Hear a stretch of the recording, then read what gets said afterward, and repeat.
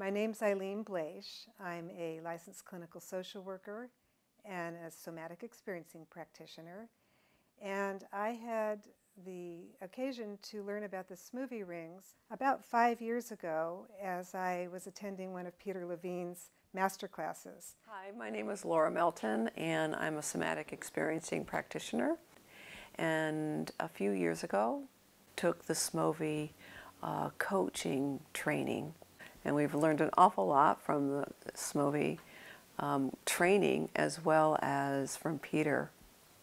And I found out that the Smovey rings were invented by an Austrian tennis player, a professional tennis player, and he had been diagnosed with Parkinson's disease. And he developed the prototype for this exercise device that really helped his symptoms. I had recently become diagnosed with Parkinson's disease. And in fact, I was in my somatic experiencing training in my third year, and it was brand new news to me. And so when I saw Peter using these Smovey rings, I wanted to learn more. I wanted to see if I could help my Parkinson's symptoms. So inadvertently, I became a Smovey coach and a licensed reseller. Years later, I have sold hundreds to SE practitioners. There's nothing about um, somatic experiencing from the Smovey world in fact, it's a very novel market for the Smovey product. Um, when we became very curious um, watching Peter use Smoveys, we, we really needed to figure out what he was doing and why he was doing it. And we're delighted to bring you an interview that we did uh, with Peter in Encinitas about how he's used Smoveys. in my sessions, I do a lot with movement, with energy, in addition to basic tools that are taught in the SE training. People notice that I'm using these different tools and that they're interested in how the tools work, what kinds of instructions to give to the clients, what to look for, what kinds of caveats there are to using these different tools. That's one of the reasons why I'm doing this recording is to say a little bit more specifically about work with the Smoveys. Uh, various students have said, I think this is something that could actually facilitate, could enhance the movement kinds of work that you, you do. And the first thing that was brought to my attention was the Bellicon, that trampoline-like device, but with a very different kind of uh, bungee uh, cord, so you really get a rhythmical connection flow into the lower body, into, through the legs, into the pelvis. But there was also the question of how about the upper part of the body? What could I use to facilitate work there and what kinds of things could I, could I add? And that's when one of my students again came up with the, handed me a, a pair of Smoveys and said, what do you think? I said, well, I don't really think anything. They look green. And uh, hmm, I picked them up and I could feel the balls moving around. And then immediately my body went into the movement. And I said, ah, okay, where have you been? I practice on myself first to really get a feeling of what it might be able to do. And then I'll practice it with friends. And then, if all goes well, then I'll start using it with clients.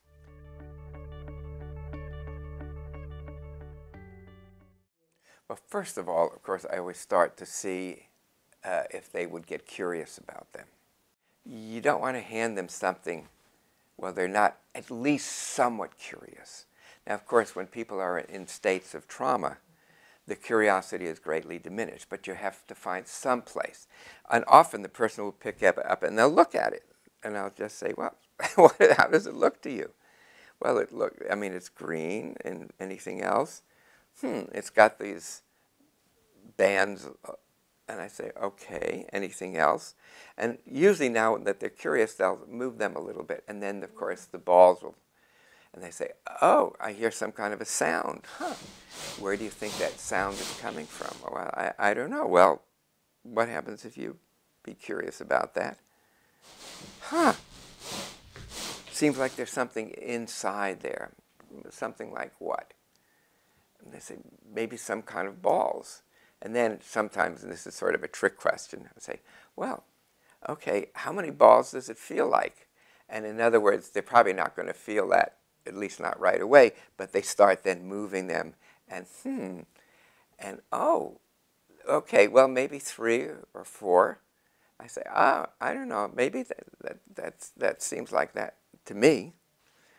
Okay, and then what, ah, and then they start to come towards the movement. Now, if I have one in my own hand, the set in my own hand, then I'll just mirror what they're doing, and then usually they follow along. And you're helping guide them through their uh, mirror neurons, if you like. That you're guiding them by, by sensing your own body and also sensing where they are in their bodies. It's also like a, a, an exploration together.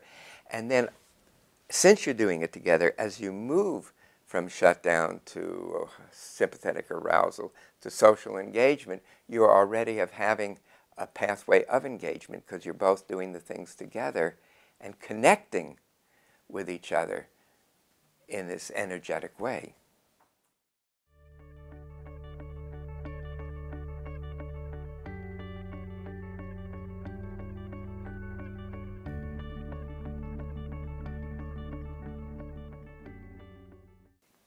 very often use them with people who are in shutdown states. Uh, dissociation is associated with, with shutdown.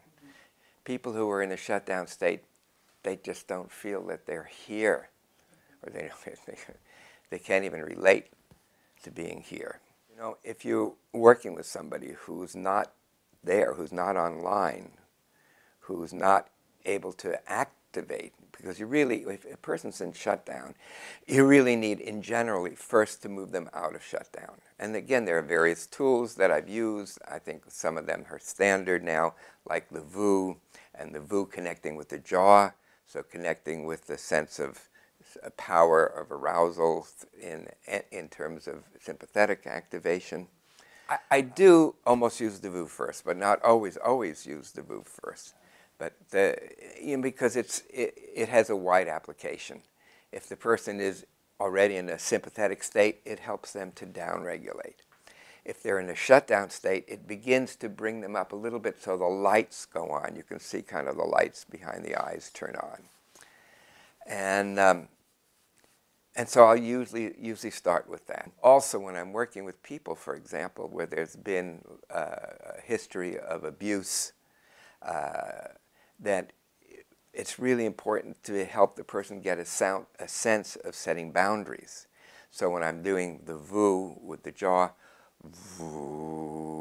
and then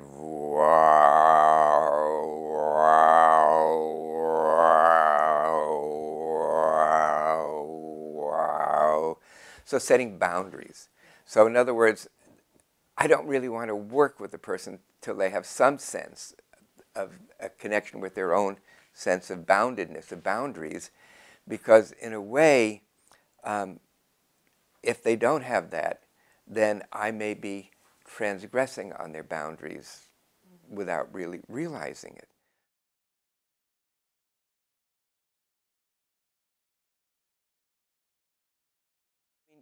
I mean, you, yeah, yeah. I mean, you use them in a similar way um, to, uh, to help them settle. But there you spend, your emphasis is on the, the experience of settling.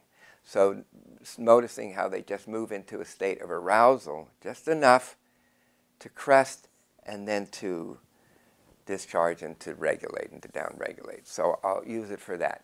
If the person is in the shutdown, I'll need to be generally a little bit more vigorous first to get them enough out of the shutdown so that I can engage with them.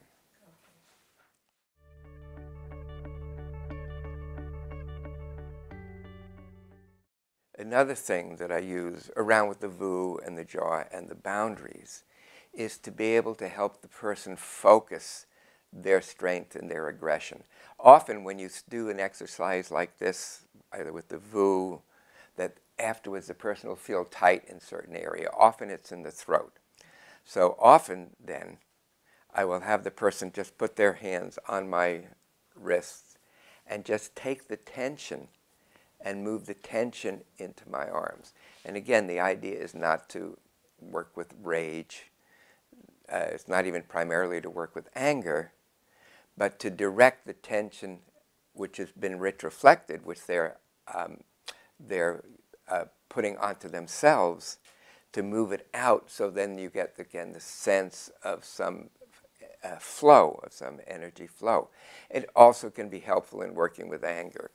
And when I do that kind of an exercise, I will tell the person to say to the person, don't worry, um, if I need you to stop, I will just say stop.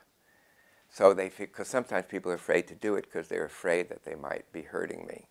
So I kind of take that out of the way. And then again, have them take that energy, take that tension and move it into here. But you can also do it with the, with the jaw. Wow.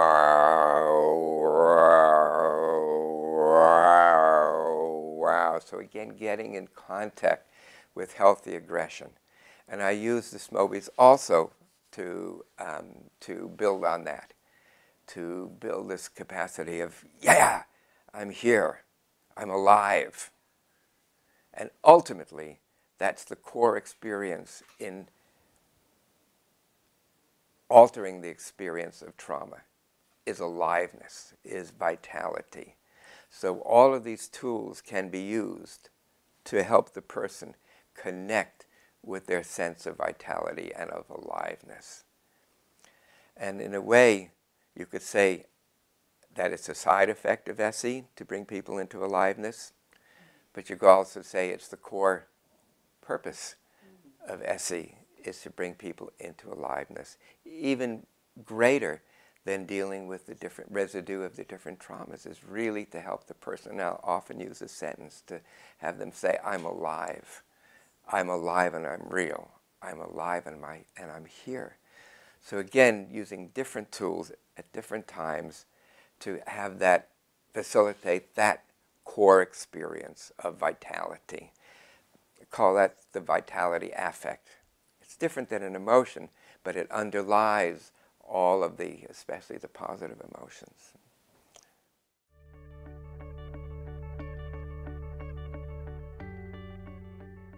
Well, contralateral movement is a way that the brain gets organized, that the hemispheres start to be in better communication with each other.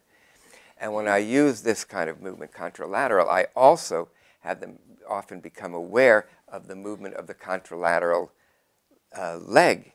So when they're going like this, they're almost like walking.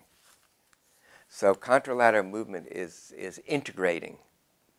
And you want to do things that facilitate it, in, but that, of course, that aren't overwhelming for the person. So in other words, they're comfortable to make the movements. Then they can get the enjoyment and the cohesion, the coherence of cross-lateral movement.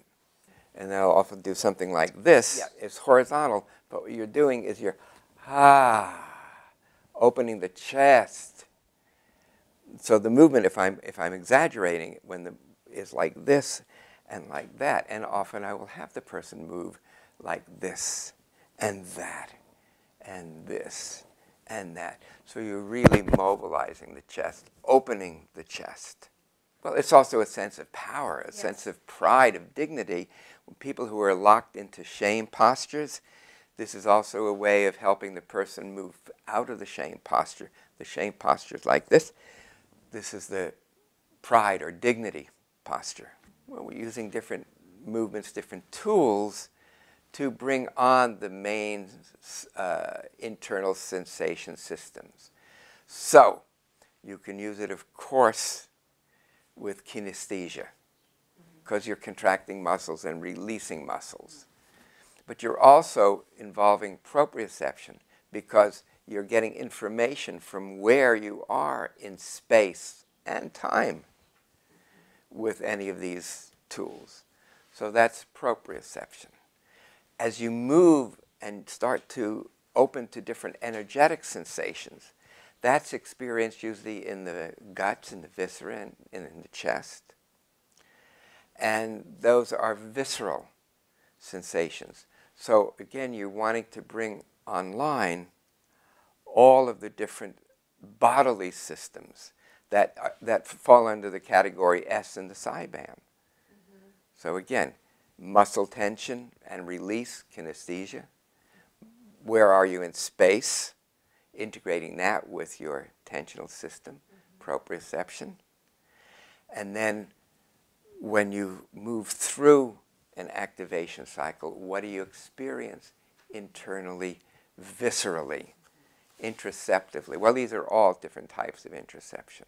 So those are the three main ones, the visceral and, and also uh, vascular. Very typically, people will, will say that they're feeling very, warmth in their hand, or they may feel cold first, but then it shifts to warmth. So again, working with the three main systems, kinesthetic, proprioceptive, visceral, autonomic, vascular.